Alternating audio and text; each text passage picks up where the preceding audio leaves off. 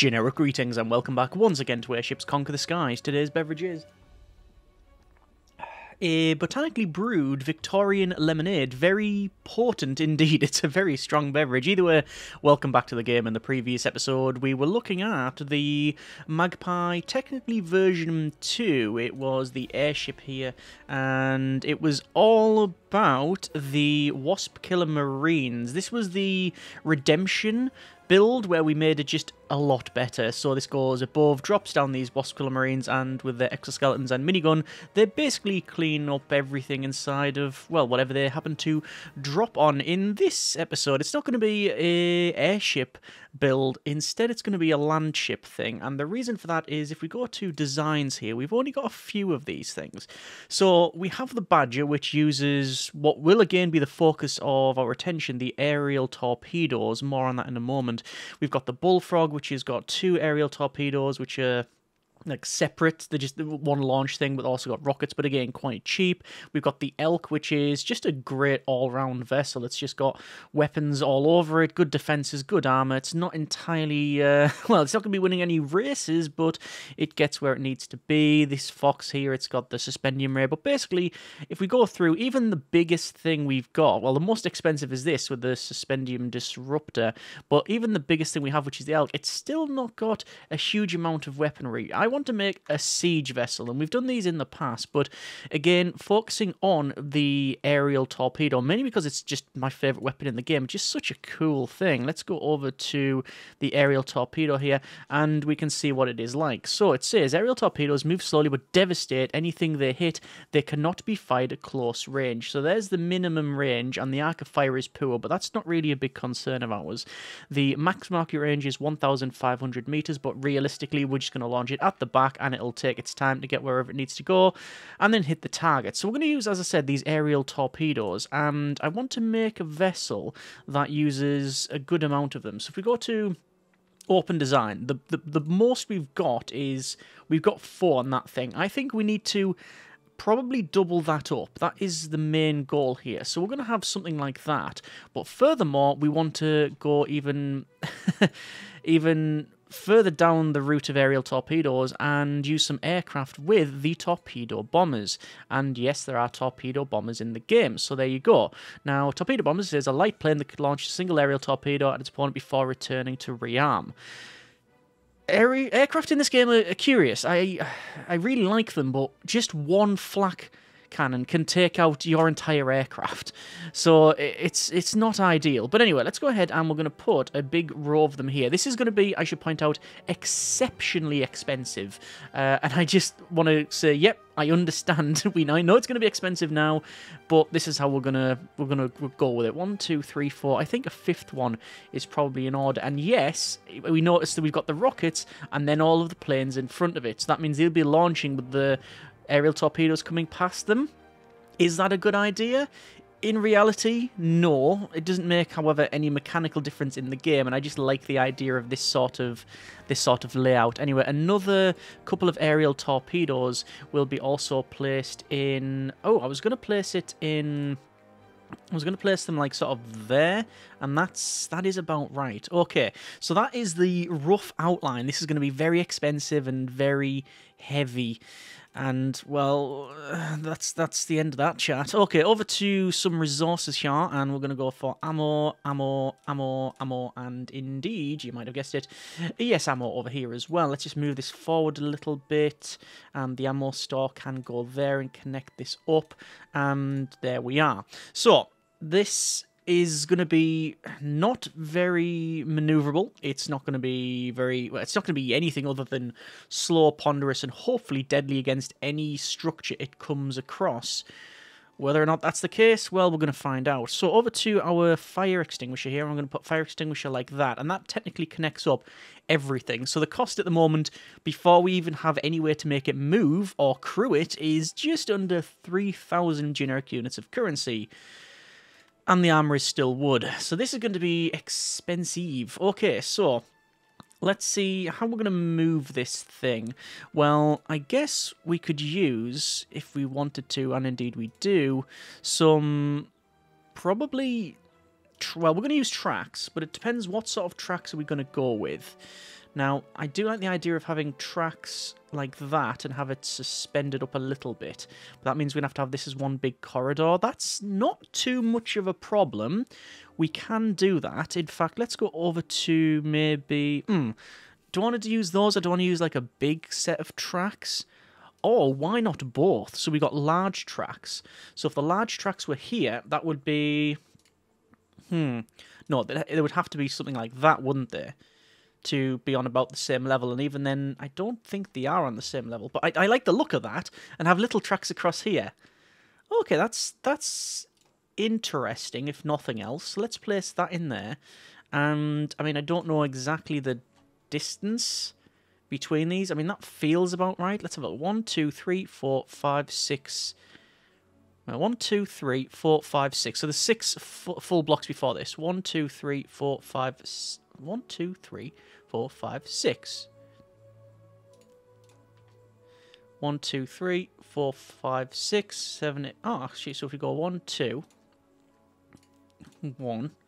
Is that about right? One, two, three, four, five, six, seven. One, two, three, four, five, six, seven. One, two, three, four, five, six, seven. Okay, there we are. Let's go ahead and have some, well, we need some basic structural stuff. Could go with a corridor. A corridor straight across here. That is possible. Or just a deck. Just straight up, just deck. Let me go over to overlays and pathing here. So we'll have to get rid of that bit. I'm just going to run this right across, like so. So that connects that up, and all of these, which is good. I will have another another fire point. I tend to use fire points quite a bit, and that's technically connected everything up. Okay, yep, that seems to work. We need to make it move, so we need coal. So over to resources, and I'm just going to go with a small coal store. And we can probably remove a bit of the deck. So remove a bit of the deck there. And indeed there. Or can actually does coal store does it go down? It does have a down bit. Okay. So I'm removing three in preparation for that to go in there, that to go in there, and Actually, we'll put it the other side. One there, one there, one there. Because again, I want a fire point, fire point, fire point. Okay. There we go. You can cross along here. So we could have really shifted it down a bit, but if this gets blown up, then I like the idea of two two sections. I have no doubt this thing is going to split in half yeah, this is going to snap like a Kit Kat, isn't it? This is not in the middle. It's just going to disappear. Oh, the chocolate confectionery is also available. So what we'll do is add in a bit more coal over here. When I say a bit more coal, we'll add some amount of coal. Cargo bay. Ah, yeah. Uh, we don't need those. So coal will go in uh, maybe there. And that should be fine, like so. And, well, we need crew, we need supply, hatch supply hatches, and we need uh, what do we need? Do we want a fire point? Do we want medic bay? I mean, it, it seems reasonable. A vessel this size, we want... The speed's pretty good. Look at 215. okay, it might, it might actually be quite quick. Yeah. Not when we start putting armor on it anyway, which... Well, we'll come back to that later. So we got our aircraft. Aircraft command deck. Give detailed commands to aircraft. I do like the idea of one of those so we're probably going to put one in. Aircraft maintenance bay. Hmm. Repairing and rearming aircraft. Aircraft are repaired 100% faster, aircraft are rearmed 25% faster. Yeah, like the idea of that. So we'll probably put one of those in. Put one in, say, I'm just, I'm just going to put it in there for now. In terms of maybe structural corridor. So corridor, corridor with ladder. And do you notice there's all these gaps? That is a deliberate decision. I don't just want it being a big brick. Although I fear it's probably going to turn out that way.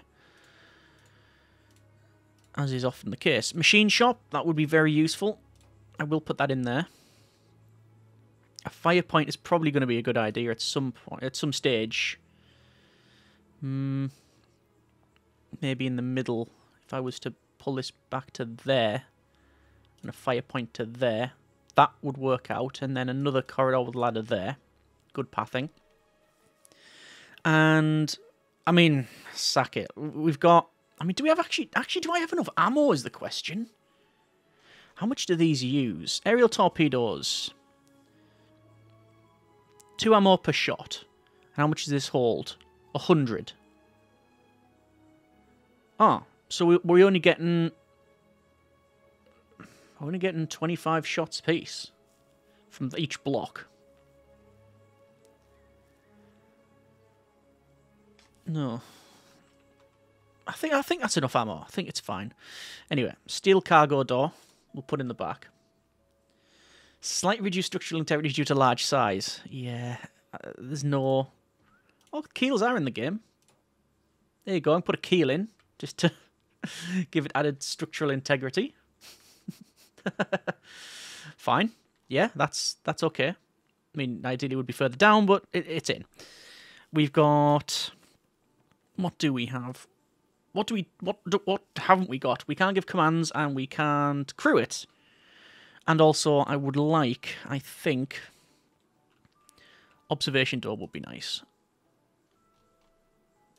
I just, I mean, it just, it just sits, doesn't it? It just sits well on there. Yeah, we'll have that. Telescope. Put one in. Does it stack?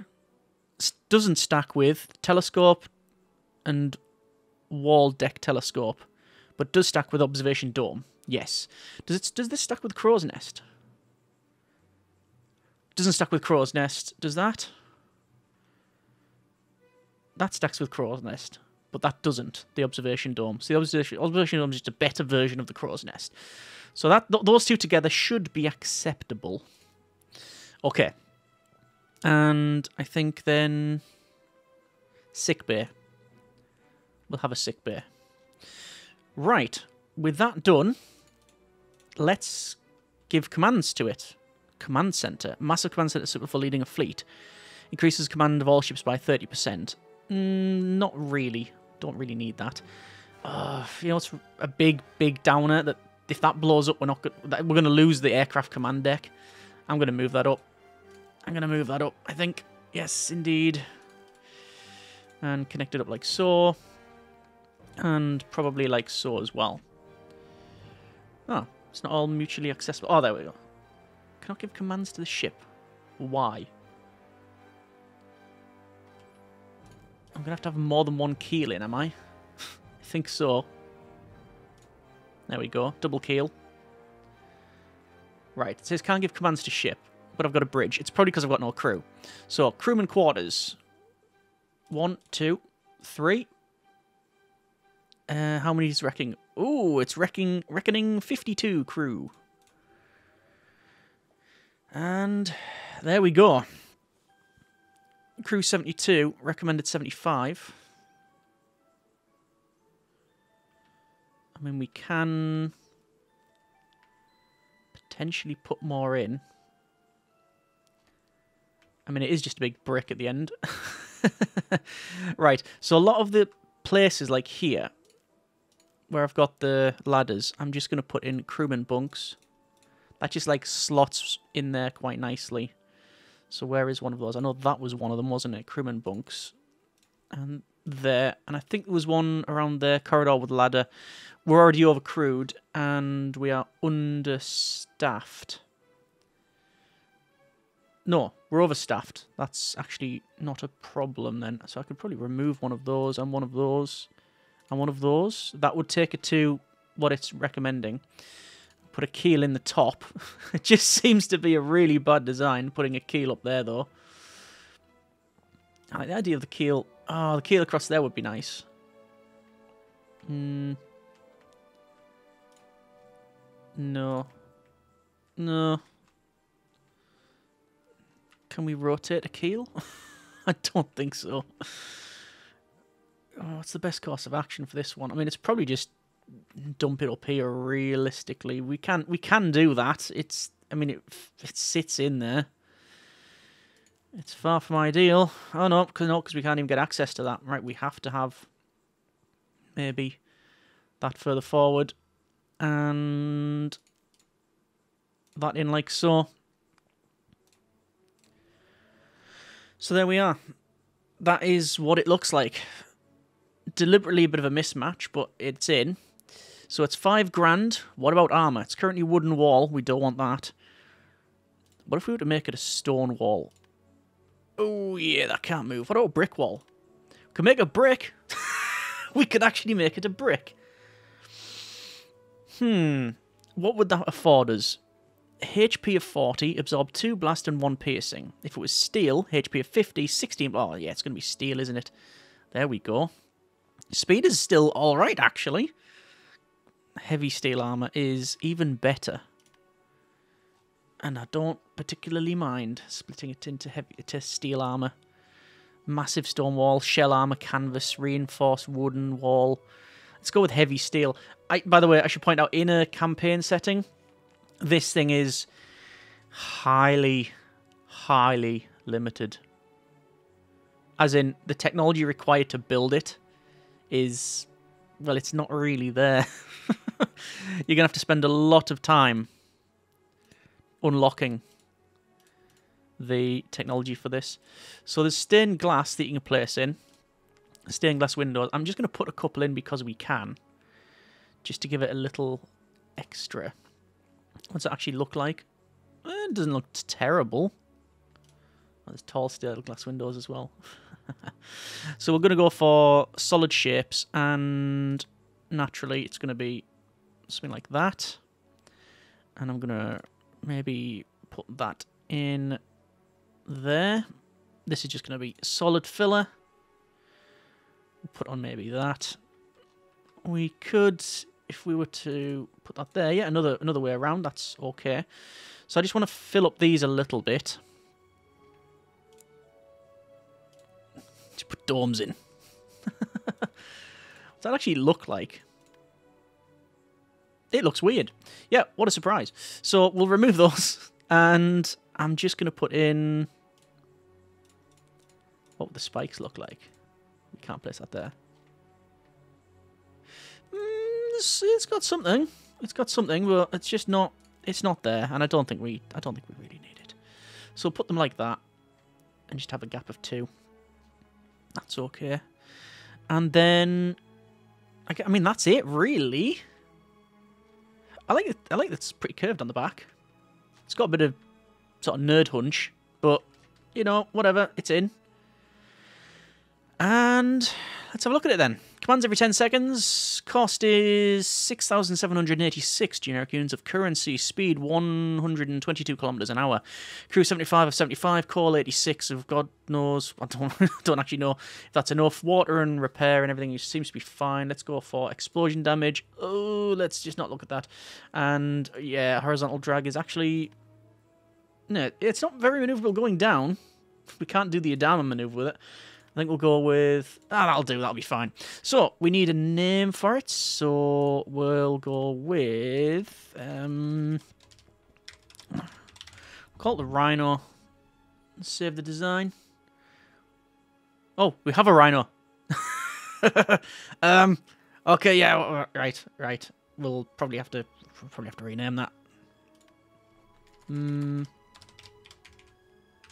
Hippo. So there is the hippo. What's it like? Well, let's find out. Let's go to leave and combat, and we're going to have a land ship of the Hippo. It is absolutely massive. It'll Gonna, it's going to go back there. And as for the building, we're going to put in probably just something. I mean, right, we're going to start off exceptionally unfair and go up from from that point. So we'll have a day fight here. And, well, we are going to start. I will immediately tell the planes to land. We do not want these things taking off just yet. I want the aerial torpedoes to fire, which they very much are. Let's just see what it's like going forward in a second. There's all the torpedoes going out. We're going to go with aimed fire. And... already I would probably like to give it commands a little bit quicker. There's the shots out from the out from the tower. Looks like the that guy up there is going to have a bad time. Oh, not, just missed him. That one hit. Hit. Good hits, good hits, good hits. And you know what? Normal aircraft operation. Resume. So let's see what these are like. Immediately, they're really quick. Oh, that looks impressive. With them flying there. Oh, there's a torpedo. Oh, even better. Right. So it does. It's not having to fly up above. Wow. Okay. Let me just pause it for a moment. I want to go back and see what sort of damage we're looking at. Outside view. Well, they haven't even broken the stained glass window yet, so, I mean, I'm feeling fairly confident on that one. So I'm telling to move forward and can, yes, confirm that it is slow. it was a bit, yeah, a bit ponderous. Okay, let's go back to a fight. This time, we're going to add in Landship, the Hippo. Excuse me. Come on, there we go. And once again, it goes at the back here. Add a building and the Orc. So I'll rotate them round. One, two, three, four, five, six. Sack it. Seven, eight. Okay, so they're overpointed. I don't think we can win. I just think that the aerial torpedoes and these planes, I just I just think that the cost isn't there. The cost ratio is off. Start the fight. I'm leaving on. I'm going to go to rapid fire. Just just yeet. so there's the torpedoes out. Oh, look at that. They're missing missing a lot. Oh, them torpedoes are so good. I think I'm going to go to normal fire. So the torpedoes are taking out quite nicely the front one. And the front one's going to explode. There we go. Let's just stop for a moment. We'll go back over to here, outside view. We are, take we are taking a peppering. But the aircraft are already rearmed and are on their way. And there we go. Oh, look at that. Uh, it's a, it's a, it's so quick. They're so quick, them aerial torpedoes. How many planes have we lost? One, two, three, four. Oh, five. We've still got five. Good grief, that noise. Oh yeah, we are losing. It looks like we're doing okay until you actually come over here and realise that that's not good. So yeah, see that? The aircraft is being repaired. Having the repair bay at the back here is a mistake. It needs to be moved further forward, closer to the planes. Who would have thought? so, already we've taken out one of the towers We've very much chipped away at the other two front ones, but any second we're going to hear explosions from the left-hand side. And that'll be us exploding. I can already hear it go. Yeah.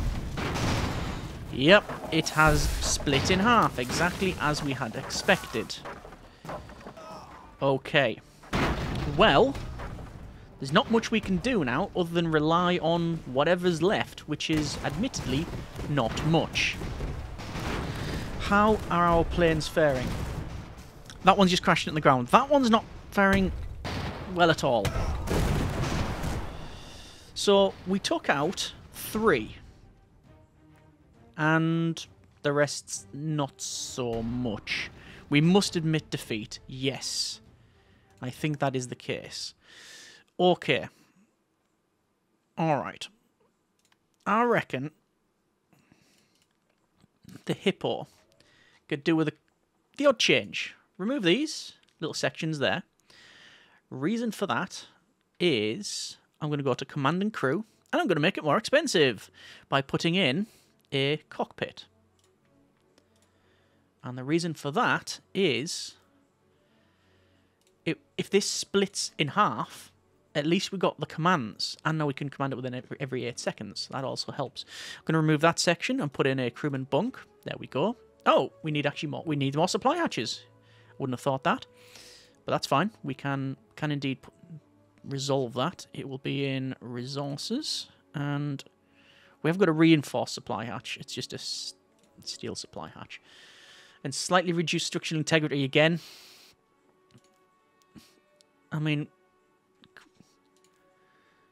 might as well just remove all the keels. How much are the keels? Oh, they're actually... It says press N for variant. Oh, yeah. the, the size of the keels increases. I wonder how much... I wonder if we can remove those and remove that. Put that in. No, slightly reduced structural integrity once again. Although, I reckon that would suffice. Yes, it would. Okay, so that's now in. Mm, the repair bay. This needs to be closer to here. It really does. Let's look at pathing. Because it's along and then down, or it's it's quite away away from it. Ideally, it would be underslung here. I mean, there's nothing to say that I can't put it that way.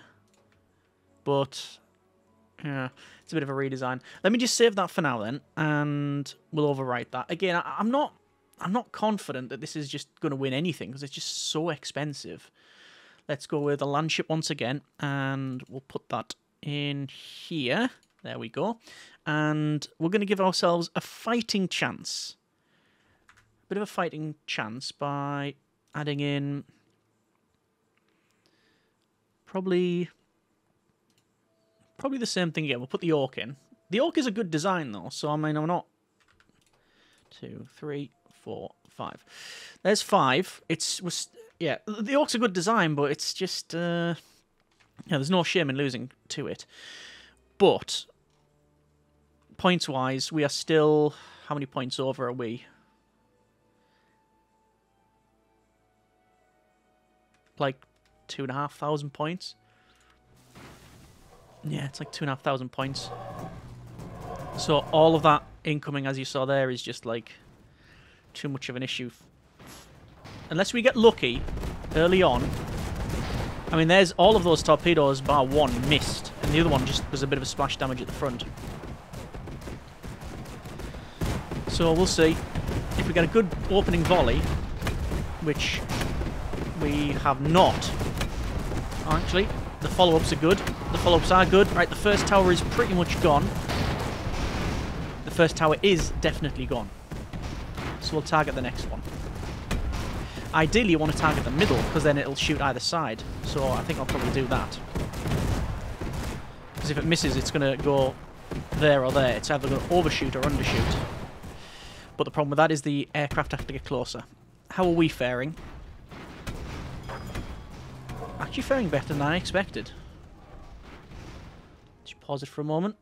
Looks like... Oh, looks like that one's gone as well. Target that one then. I love how quick and precise those airdrop torpedoes can be. And there's another one gone. Pretty much. Yep, that's that pretty much gone. And now going to be targeting this next one. Hmm. That's good. Yeah. You know what?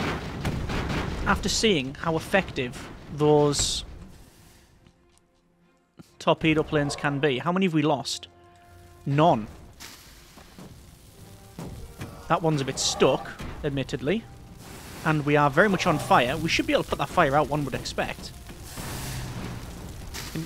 hear the hissing. That's going to reach the ammo store. It is in the ammo store. Water's going down.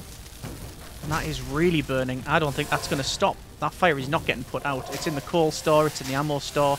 There's going to be an explosion at some point, and I think it's going to be sooner rather than later. You can see the water going down, but it doesn't sound... I don't know what they're using, using the water for. I mean, it's it's they've stopped this fire spreading, and that's the best I can really hope for. No, no, it's, it's spreading further. Right, okay, that's going to blow up at some point. However, we should have victory sooner rather than later. If nothing else, the front will survive. And that's pretty much it. All glory belongs to us. We are victorious. Yes, you also have free heating. Okay, one more combat. Let's go with... Actually, that was Ooh, that's that's very much desert. Let's go for Oasis. Yeah, we'll go with the. Oh, I like the Oasis in the day. There's the night time. There's your dawn, dusk. There's your sandstorm. So we'll have that. Okay. Landship, hippo. It goes there. And building the orc. Let's try the equal amount of points again. We might get lucky. One, two, three, four, five, six, seven, eight. So they're overpointed by oh, very little. 6823 as opposed to 6880. It's close as you're going to get within, well, with, with being reasonable. So there is the, uh, there's the launch. And here's the myriad of shots coming into us. I am going to target the middle one because the first volley will hopefully do enough damage to the first for the first one that we should be alright. Because all of these are coming in for the first one. Now we're just launching the second. Don't know why it's... Uh... Yeah, there we go. There's all the aircraft rearming. I, want, I want to watch them... I want, I want to see them take off. Come on. One, two, three, four, five, and there they go. Yes, that looks good. And really quickly, I think the front one's pretty much dead. But I can hear explosions to the left. Yes, I can. Yeah, we've already lost. Half of our arsenal is gone, and it keeps exploding. So, yeah, it is possible that this thing is... Oh, no. No, it uh, likes to Death Star itself. Yep, okay and it's very susceptible to fire. Admittedly, we do have a lot of the ammo stores and coal store around. Yeah, so that's pretty much gone. If it splits off, so if that snaps there... Oh, look at that, that's on fire as well. But now this is snapped off, but we can still control it, because we have got the, the cockpits in there. Again, on fire, and then it goes up again. Wow, okay. I can still hear explosions. Yeah, just, it's just a little bit too much for it. Just a little bit too much. Alright. Well, we'll leave that fight there, and we'll probably leave that there for now. That's been with airships conquer the skies. Overall, effectiveness is... it's not where it needs to be. But what's the way to fix it? Well, it is the explosion damage that's a problem. So when these go up, it also ignites that one, which I actually thought we had the right, the right spacing. So what I'm probably best off doing is having two gap of two, two gap of two, two, and, and do it that way. Another way of doing it would be one, then a gap of two, and move it that way. But I think having it in blocks of two works Problem is when that blows up, it takes up so much around it. These aren't really a problem when these go on fire. Th those that one is, but yeah. Okay, so I'd have to make it even taller and more uh, put more spacing in it. That would mean though, if we had more space, I could probably move the aircraft repair bay to here. But honestly, if I was going to do that again, I genuinely think that I would run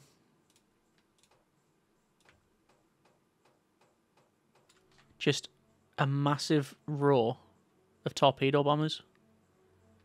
One, two, three, four, five, six, seven, eight.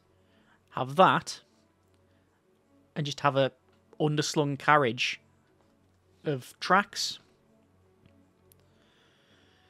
Maintenance bay, aircraft command deck, a couple of weapons on the front. Job done. Not very tanky, but the cost infinitely cheaper. If you would like to see that build, let me know. I'm probably going to make it anyway, so I'll probably end up recording it. Either way, let me know what you think on both the Hippo, comments, suggestions, changes, additions, alterations, variants, or even just different suggestions for any builds that you would like to see. Let me know, and as always, we will leave it there for now. Thanks very much for watching. Take care, and generic partings.